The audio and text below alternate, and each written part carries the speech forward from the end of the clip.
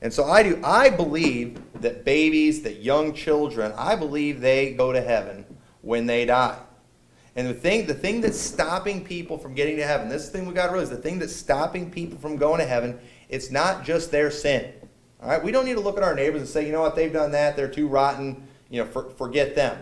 No, their sin is not what's keeping them out of heaven. All right, it's their lack of faith in Jesus Christ. It's the fact that they have not believed on the name of the only begotten Son of God. They've got to believe in the Lord Jesus Christ, and it's our job to give them that message. It's not our job to clean up their life. It's not our job to get them reformed and things like that. We want to teach them those things after they get saved, but it's, it's our job to just tell them so they will accept that gift of salvation because that's what's stopping people from going to heaven. They are rejecting the free gift. Their sins have been paid for. Jesus did not pay just for the sins of the saved, He paid for the sins of the whole world.